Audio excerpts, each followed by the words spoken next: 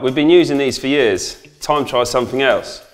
Welcome to Arkmark. It's a simple and effective way of marking architrave and it is the door utility tool you cannot be without. You butt it up into your corner and simply mark both sides, creating that right angle. You can do this all the way down the door, simply and effectively. What we've got is a raised platform here to mark three and four inch butt hinges. Take two Arkmark, the shortest sides, that gives you the perfect six inches down. For marking the bottom hinge, you take three Arkmark, put them on top of each other, giving you three, six, nine inches up. You make sure it's at the bottom and you mark around the hinge.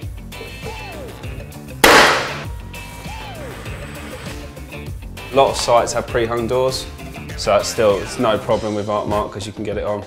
It's the best door tool that you need in your tool bag and you need to have it in your life.